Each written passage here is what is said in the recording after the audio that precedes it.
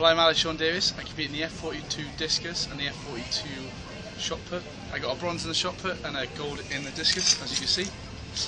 These games have been something special to me. Um, the crowd in there has really carried me through and uh, made me perform, you know, on the world stage and be able to deliver at home games, which is uh, something hard to do. And um, at a young age, I'm just so glad that I can show these people I'm an elite a- athlete. So yeah, I'd like to thank everyone who came out and supported me, and uh, just let you all know that I'm here for a long time. Sport doesn't care who you are.